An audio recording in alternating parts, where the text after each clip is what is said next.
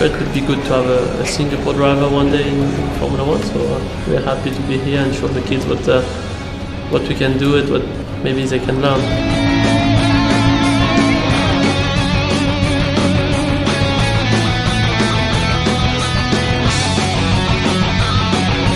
I would say it's always nice to show a kid how to improve his ability and his skills.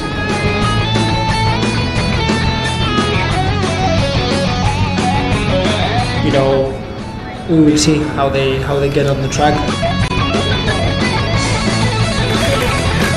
think that uh, the best advice that they gave me was that to try your best in the qualification. Just don't push it way too much, so you don't crash and mess up.